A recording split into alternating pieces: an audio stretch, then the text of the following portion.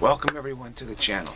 The new viewers, I hope you uh, find that this is an amazing channel and you want to subscribe. It's September 1st. We go month by month here. Each month has a theme. The overall emphasis of this channel is bliss training. We're training for bliss, all right? There's one thing that we do not do on this channel starting September 1st, which is now, is we don't hurl insults or get into political sociological debates or, you know, criticisms, etc. Why? Because as of now, I'm going to say that you either get it or you don't get it. All right? And if you don't get it by now, we, we don't have the time to get into it anymore. We have, those who get it have to train for bliss. They have to do that now. There's no more time to waste. So there are those who get it and there are those who don't. Those who don't get it aren't going to be training for bliss, and those who do get it should be training for bliss now and forget about trying to reach the others, okay? It's a waste of your time right now. If they don't get it by now, hey, they're a, they're a tough nut to crack, aren't they? And let, let it be. Let it be. Training for bliss is essential at this time. It is absolutely essential what we have here is we have different playlists. We have uh, different training uh, areas.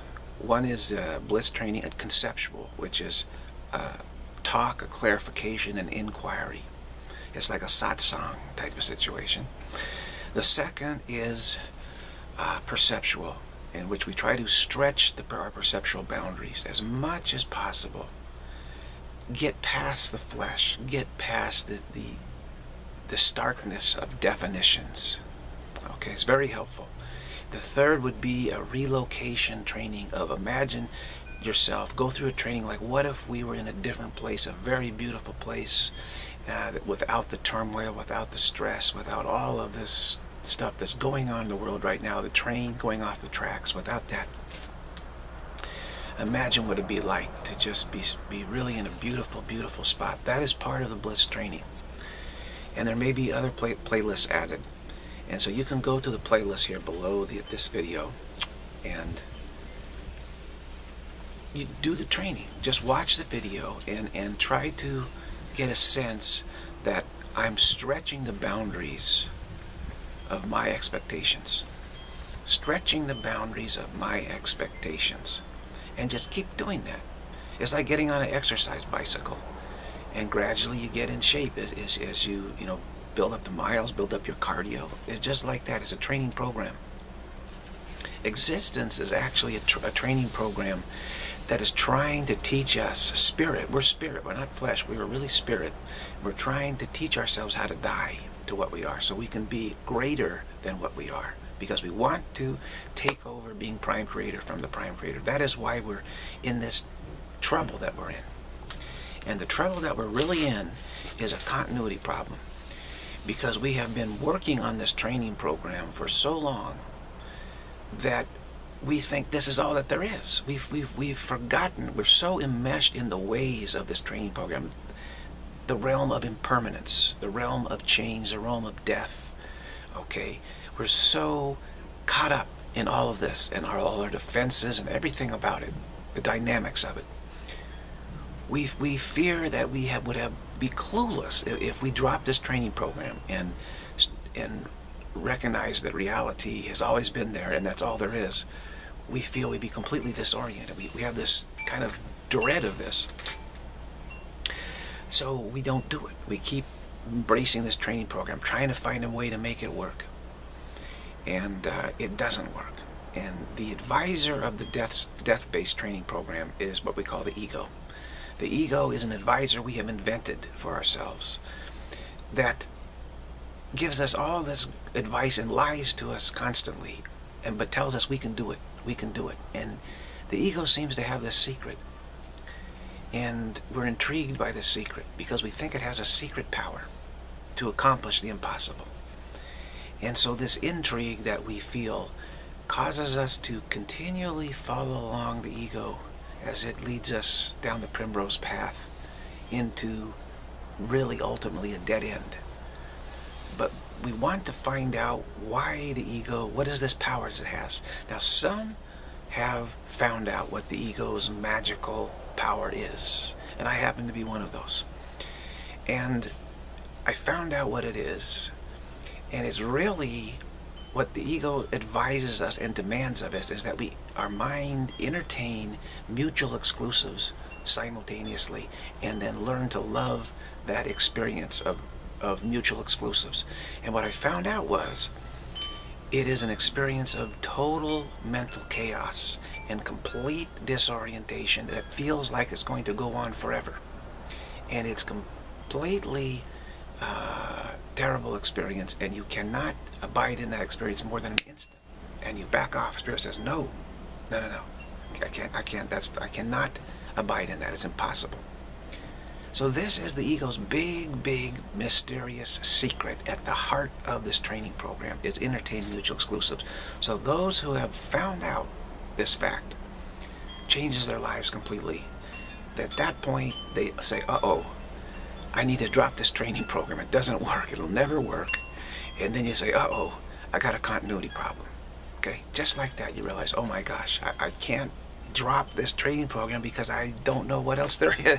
I feel I'd be really, you know, out of sorts. Uh, I've forgotten reality. This is where you become aware of that there is something in your mind that is confident that it has the answer to the continuity problem. And you become gradually become aware that there's this inner intelligence that you have that is guiding you towards the solution of the continuity problem. And you know, I didn't know what it, what what it was. I just said, "Wow, there's some kind of genius within me that knows seems to know everything." and seems to be guiding me in, in amazing ways and I'm starting to see stuff the, the ego never let me see. And eventually I ended up calling it the Holy Spirit because this is a this is a term that is is very common and in use. You can call it the grace of God also.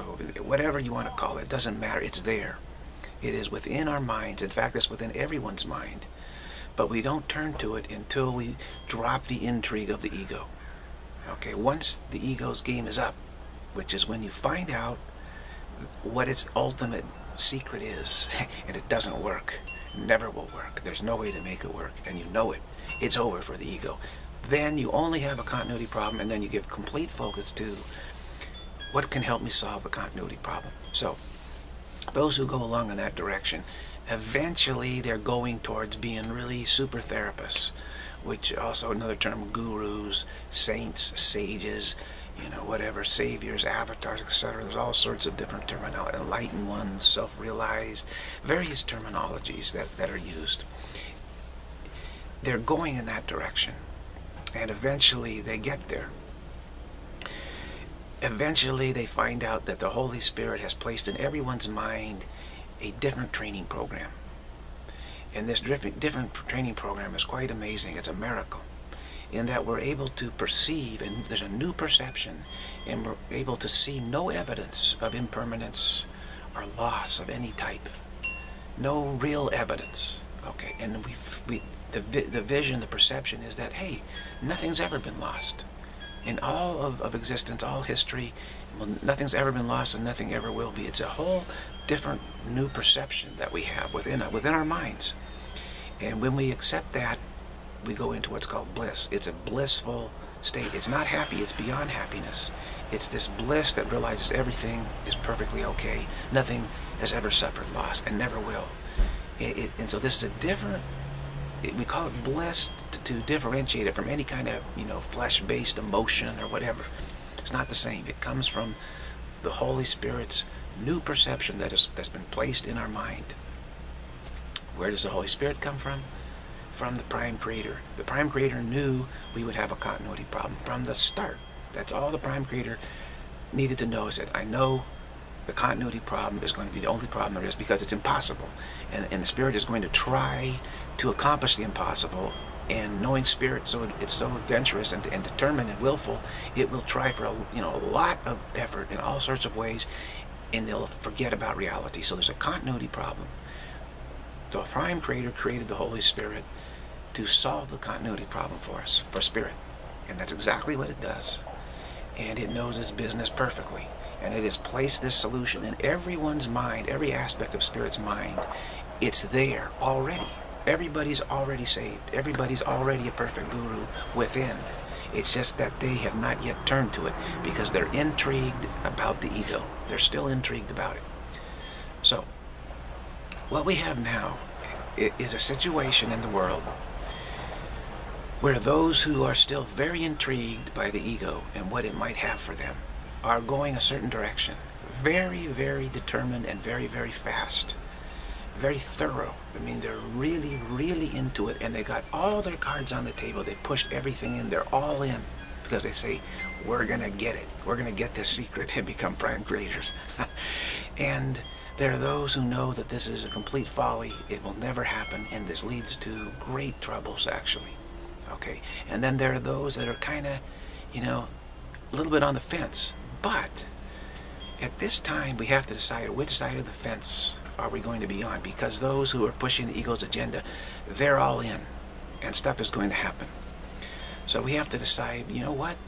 Either I'm on that side, I'm going to go all in with the ego, or I'm going to start training, really training for bliss, going in that direction. It's one of the two. You have to decide. So this channel uh, here on YouTube is here for the purpose of helping those who are going training for bliss to actually get away flying, to actually do it, to actually do it, to actually start training. And most people have been training just for sat satsang, you know, like who am I, inquiry, who's asking the question, all, all various all stuff, inquiry. But really, the training needs to be wider than that. Now, as far as answering questions, uh, my, myself answering questions, you know, the fact is everybody has to find their own answer.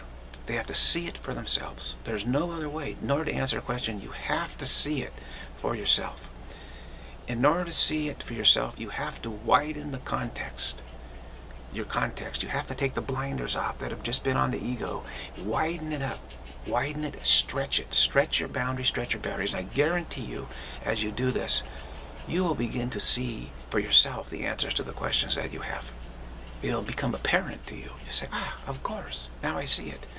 And there's no way anybody else can explain it to you. I guarantee you that. I, I mean, I used to study and study and study and read, read books, and I couldn't, I couldn't get it. I said, I don't understand it. I was honest. I said, you know, I just don't get it. So I don't know why. It's because you have to see it for yourself within context. Context is everything. Context, it's not just conceptual, it's contextual. Okay, your seeing is contextual. It's got depth to it. It's got breadth and depth. It's not just a, you know, a sentence, a, uh, you know, some words that you can remember. No, you have to see it and how it fits in, fits in as a unified whole, as it were. So, don't be concerned that you don't have an answer to this or that or that. Be concerned about training and stretching, stretching, stretching, stretching your boundaries. Keep stretching the boundaries. And some of the advice I have, very simple. No drugs. Don't use drugs. It doesn't work.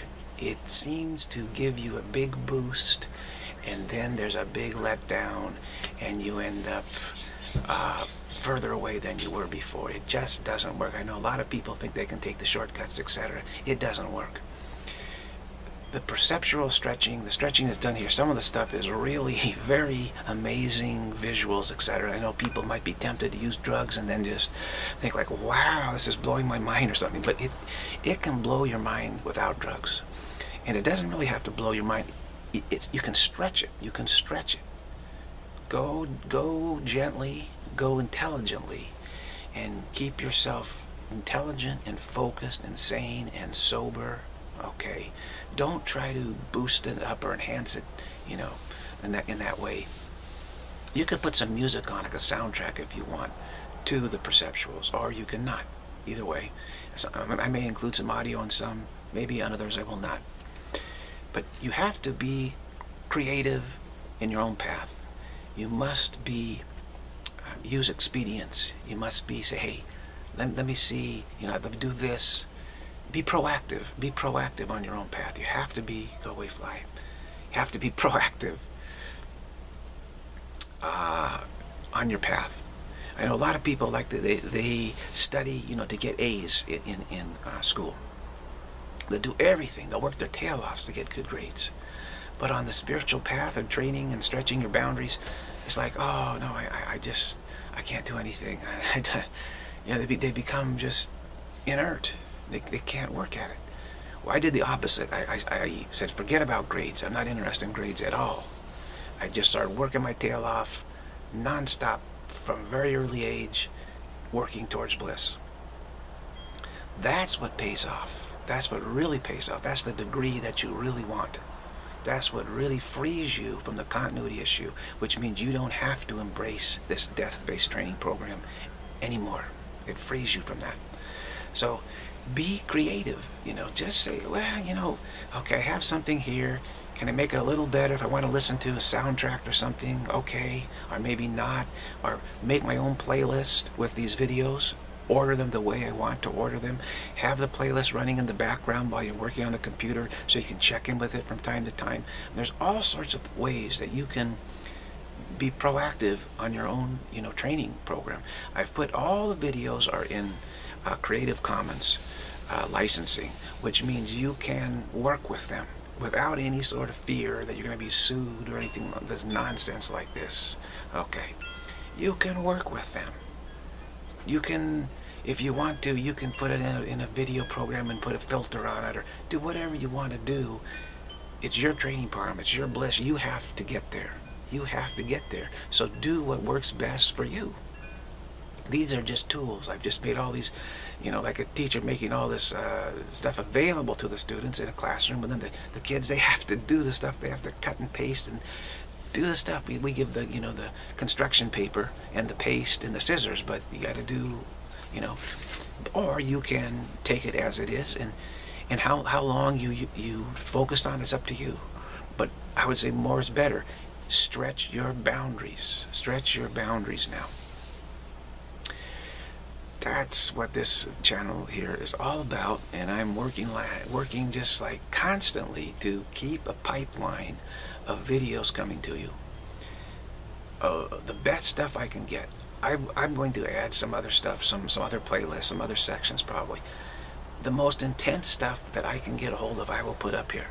This is an intense, intense thing right now because we are in an extremely intense time in the world. It's put up or shut up time. It is time for the tough to get going. And that means it is time to really stretch our boundaries and get used to this, get used to this, get used to this, get used to this. Because that opens the door up to uh, even more enhanced bliss training. It does. It opens the door in that direction. And so you can handle the, the greatest fear we have right now, other than the continuity problem, that, that's number one. But we, we fear bliss. We fear bliss, actually, because it's responsibility. Because in the back of your mind, you're saying, wow, if I really had bliss, I'd be have a heavy responsibility, right? To, to, I'd be able to help others really, and others will come seek me out, kind of thing. That, that is true. That is true. So it, it, it's, it is a bit challenging, actually. There's an inner fear of success, like I don't want to be too successful. but we got no choice right now. We have to be, be very, very, very successful, actually, right now have to be because the ego and those who are going that direction are going to be very, very, very, very severe failure. Very severe failure. And so they're going to need some super therapists, super therapists, you know, and the only way to be a super therapist is to be in bliss. That is the only way. Only bliss can handle the demands that those place upon you who are, who are very confused and, and, and desperate. You know, they, they have to have something a lifeline that they can say, you know what, somebody got out, somebody got saved. Okay, and you can be that one. You have, we have to be. It's either one of the, it's either this way or that way. If we go towards bliss, we're going to succeed. Sooner or later, we're going to succeed. Probably sooner. So let's make it easy for ourselves. Let's make use of the tools that are available here and this is part of the outreach of the Holy Spirit into the world and say, look, here are some tools. You're not with, you know, just left with nothing. Here's some, here's some tools you can use Don't worry about being right. Worry about stretching, stretching, stretching, stretching, getting limber, more and more limber, more and more limber. Familiarity is the key. Just get familiar with stuff. If you disagree with something, just say, oh, you're, you're enhancing your context. Right? Overall, you're enhancing the context, widening the context so that it's got room for the explanation of what bliss is, how, how, it's, how come it's there, you know, what is it all about, and then how you can accept it. All of that, you've got space for it. You got space for it. It's like you clean out your room, you, you remodel, make your room bigger, and there's some there's room for bliss to come and, and dwell with you there. So, welcome to this video channel. Make use of it, and hopefully subscribe so that the new videos show up in your you know subscription area. When you go go to YouTube you'll see ah there's a new video here on this channel on Christ Clarity channel. And you'll say hey hey let me check this out. I want to check this out. I want to you know start stretching my boundaries towards bliss and try and say hey enough of all this arguing and turmoil and hostility and agitation and all that kind of stuff you say you know what I need to start heading towards bliss right now, right away. And let's not waste any more time. Let's get right to it. All right. So enjoy, use the videos, and I will be coming up with even better stuff in the future. Okay. Very great. That's it.